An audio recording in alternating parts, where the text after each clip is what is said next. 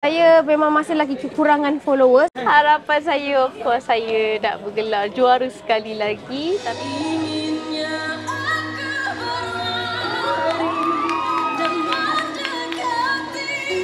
Bersama saya Nadira. Sihat awak eh? Sehat Alhamdulillah. Last saya jumpa awak, kita interview punya susah nak interview Betul. awak kan sebab line tak ada.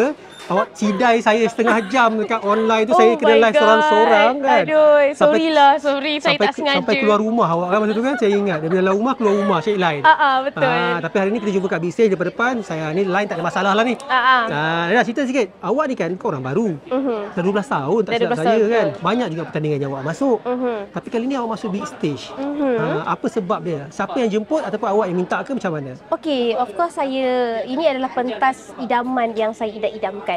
Uh, daripada saya tengok first week lagi saya dah saya dah uh, macam teringin sangat nak masuk big stage ni kan.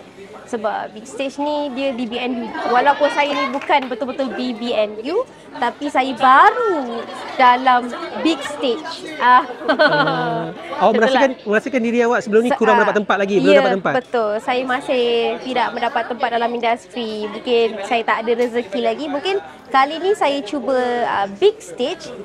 Uh, mungkin tahu baru tahu kan kita ada rezeki. Uh, macam itulah. Bukan Oh. setakat uh, dekat sini je saya nak memperluaskan tunjukkan bakat saya. Mungkin selepas big stage saya akan buat single ke, yang kelainan ke macam mana ke. Uh, kita tunggu Eh, je dia, lah. dia yang cakap macam tu tak, tak mendapat tempat, baru mendapat tempat. Tapi hari ni baru dia baru buat tunjuk persembahan yang pertama je, semua dah cakap, ini bakal juara ni. Oi, jangan. power. Betul dia bawa lagu Masya Pressure tadi. tu, pressure. Ah, itu nak tanya tu. Ada rasa tekanan tak bila tiba-tiba belum apa-apa lagi orang nak mengatakan kawan-kawan peserta pun banyak sebut nama awak. Okey, so, uh, memang ada uh, ada sedikit pressure betul-betul lah saya mengaku memang sedikit pressure sebab orang selalu kaitkan saya macam uh, macam Mila kan juara lah apalah tapi saya tak nak letakkan apa-apa sebab nanti saya akan sendiri yang uh, pressure dan saya akan mengganggu emosi saya. Jadi saya tak nak fikir apa-apa, saya akan buat yang terbaik setiap minggu insya-Allah. Ya sikit lah mungkin kalau nak cerita sebelum ni lah kan. Uh, kenapa awak rasa awak tak mendapat tempat sangat sebelum ni? Uh, mungkin sebab saya katakan tadi rezeki. Uh, so apa pun kita buat kalau tak ada rezeki of course dia takkan takkan sampai dan saya percaya kalau kita tetap akan cuba dengan um, apa kita kita mencuba dan terus cuba dan terus usaha dan berdoa mungkin akan adalah rezeki tu rezeki takkan pernah salah alamat Rezeki tak masalah. cepat atau lambat je Ah, adakah adakah macam mungkin mungkin lah ramai selalu cakap kadang-kadang artis ni nak berjaya kena ada peminat, kena ada followers yang ramai. Macam Nadira sendiri adakah Nadira merasakan bahawa kekurangan followers, kekurangan peminat berbanding dengan yang lain-lain? Ya, Ah, sebab- saya memang masih lagi kekurangan followers dekat IG. Uh, mungkin kat IG saya ada 14.9k saja. Uh, dan sekarang ni saya kenapa saya masuk big stage juga saya nak kumpul peminat. Ah, so macam Nadira ni bila cakap macam tu memang memang Nadira tetap walaupun dah 12 tahun. Sorry, apa tadi? walaupun dah 12 tahun, Mhm. maksudnya sekarang ni Nadira memang tetap nak jadi seorang penyanyi, nak tetap teruskan. Sebab itulah Nadira masuk di stage, nak kumpul peminat semua Ya, tu. ya. Memang saya nak kumpul peminat semua tu lah. Saya nak nak ke, saya nak tunjuk bakat saya kepada orang yang masih lagi belum mengenal saya. So ini sesuatu yang memang awak nak buat. Ya, betul. Ah, bukan bukan separuh jalan, bukan kata sekadar suka-suka. Ya, bukan sekadar suka-suka. Ini adalah pentas yang besar buat saya. So saya kena buat betul-betul. Ah, Apa yang pentas yang diidamkan oleh saya selama ni. Jadi bila sebut pasal peminat kan, untuk pertandingan sebegini sebenarnya, big stage ni kita ada, kalau katakan, saya rasa macam tak mungkin, tapi kalau lah, kata bukan rezeki, tiba-tiba bottom 3 memerlukan undian. Mhm. Awak rasa macam mana kedudukan awak berbanding dengan peserta-peserta lain? Adakah uh, awak rasa awak perlu lebih ramai peminat dan apa awak akan buat untuk mendapatkan peminat yang lebih ramai supaya boleh memastikan awak sentiasa selamat setiap minggu? perlukan strategi uh, di mana apa yang saya dah bincangkan dengan uh, my team semua uh, tak adalah macam nak cakap eh? Kita tunggu je lah Sebab kalau nak cakap nak reveal tu Macam tak boleh kan Sebab ni benda ni sangat besar rahsia Ah. uh. Mana boleh kan So akan ada lah gimmick-gimmick tu Mana tahu kan kita akan bagi nanti uh, Just tengok nanti Tapi Nadira, Nadira mengakui lah, memang, memang kena buat sesuatu untuk Ya. tarik peminat tu memang kena lah. Ya, sebab saya tak nak bagi uh, nama saya ni orang tak sebut. Kalau bila beberapa kali or- orang kerap sebut nama kita, kat situlah kita boleh tahu kita punya uh, Kedudukan awak. Ya, kedudukan kita. Ya, bagus. Walaupun duduk orang lama kiranya dah 12 tahun. Sebab setengah-setengah orang yang lama ni dia macam tak reti lagi nak gunakan media sosial. Maksudnya ah. tak nak. Kata macam tak payahlah, tak payahlah. Mm, tak Tapi Nadira, payahlah. Nadira dia memang ada perancangan dia sendiri. Satu Ya. yang kita nak kan.